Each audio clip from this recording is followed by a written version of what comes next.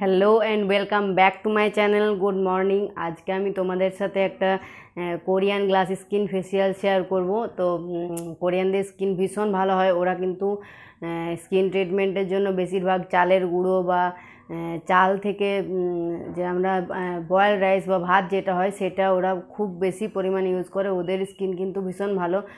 আর খুব গ্লেজ ওদের স্কিনে তো সেটা আমি কেমনভাবে করছি সেটা তোমাদের সাথে তো শেয়ার করবই।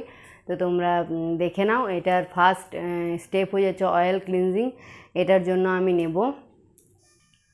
এখানে আমি একটা বাটি নিয়ে নিয়েছি। এর মধ্যে এবার আমি নেব সুইট আলমন্ড অয়েল বা বাদাম তেল যেটা তোমরা চাইলে এখানে, তোমাদের কাছে যদি নারকেল তেল থাকে, নারকেল তেল নিতে পারো বা ভিটামিন ই ক্যাপসুল নিতে পারো।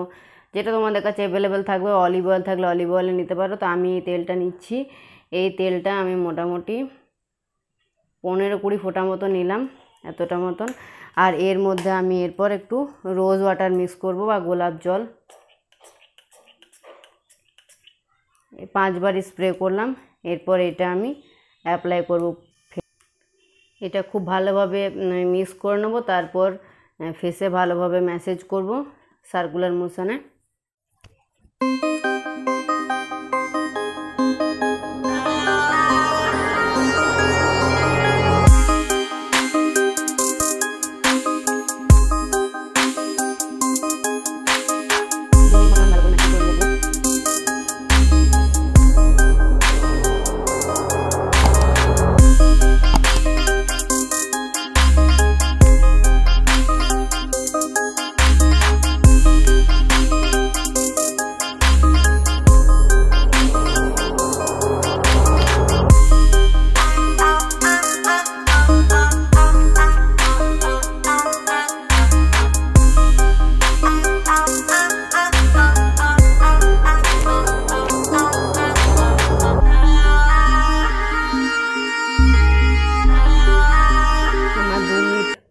ম্যাসাজ করা হয়ে গেছে, আমি এরপর একদম একটু হালকা জল, গরম জল নিয়ে নিয়েছি।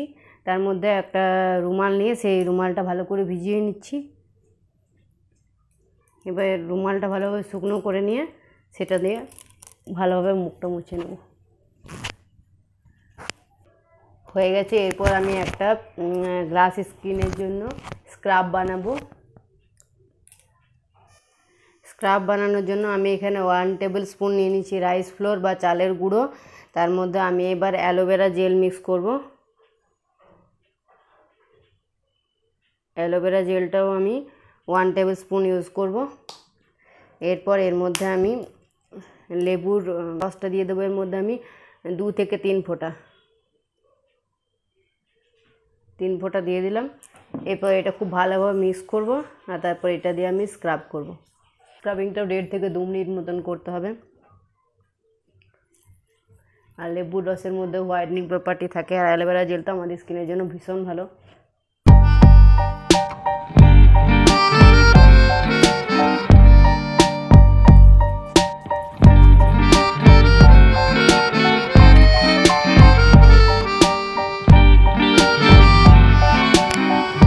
এরপর আমি বানাবো ম্যাসেজ ক্রিম ম্যাসেজ ক্রিম বানানোর জন্য আমি এখানে দু চামচ মতন বয়েলড রাইস বা ভাত যেটা হয় সেটা নিয়ে নিয়েছি দু চামচ মতন। আর এর মধ্যে আমি এবার, এর মধ্যে আমি দু চামচ মতন দুধ মিক্স করেছি। এটা আমি কাঁচা দুধ মিক্স করেছি। এটা আমি ভালো করে এবার মিক্সিতে পেস্ট করে নেব। দেখো আমার পেস্টটা করা হয়ে গেছে। এটা আমি একটা বাটিতে নিয়ে নিয়েছি। আর এর মধ্যে আমি এরপর মিশিয়ে দেবো এক চামচ মতন মধু। ব্যাস আমাদের ম্যাসেজ ক্রিম রেডি হয়ে গেছে। এ দুটো ভালো করে মিক্স করে নেব। তারপরে ফেসে আমি পনেরো মিনিট মতন এটা ম্যাসেজ করব।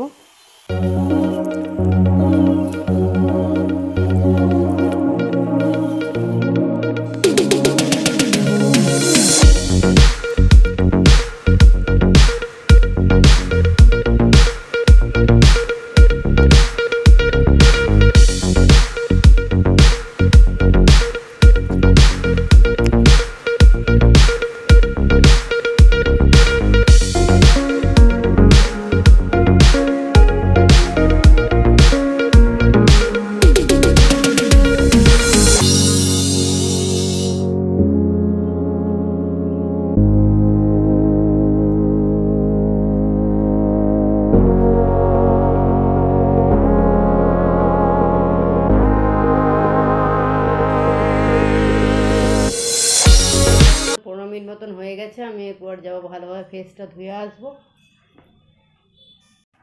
মুখটা আমি খুব ভালোভাবে ধুয়ে চলে এসেছি। এরপর আমি বানাবো হচ্ছে মাস্ক বা সিট মাস্কও বলতে পারো। তো তোমাদের কাছে যদি নর্মাল টিস্যু থাকে যেটা ফেস টিস্যু হয়, সেটা নিতে পারো। আমার কাছে এখানে কয়েন টিস্যু আছে, তো আমি কয়েন টিস্যুটা ইউজ করব।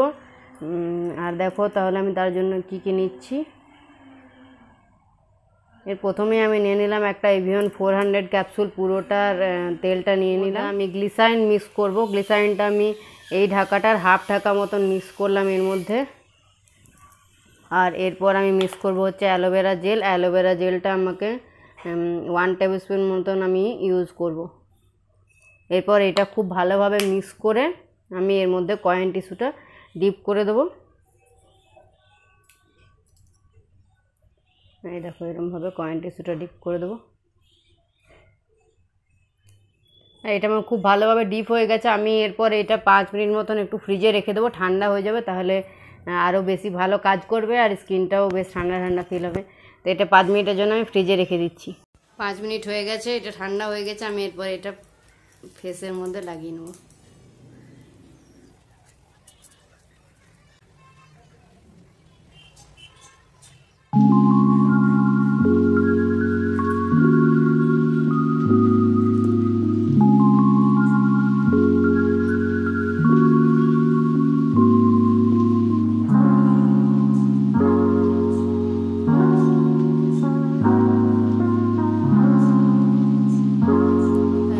ভালোভাবে ধুয়ে একেবারে স্নান করে চলে এসেছি।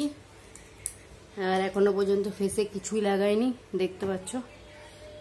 রেজাল্টটা তোমরা, তোমরাই জানিও রেজাল্টটা কেমন, আমি আর কিছু বলব না। আর তোমরা এই ফেসিয়ালটা প্লিজ ট্রাই করো আর আমাকে রেজাল্টটা জানিও। আর এরপর আমি অ্যাপ্লাই করে নেব সানস্ক্রিন কারণ দিনের বেলায় যেহেতু করেছি সানস্ক্রিন তো লাগাতে হবে, আর যদি রাত্রেবেলায় করো তাহলে ময়শ্চারাইজার লাগিয়ে নেবে, তাহলেই হয়ে যাবে। করে নিলাম। ব্যাস, হয়ে গেল কমপ্লিট আর আজকে এই ফেসিয়াল ভিডিওটা আমি এখানেই শেষ করলাম। দেখা হচ্ছে তোমাদের সাথে নেক্সট ব্লগে বা বাই টেক কেয়ার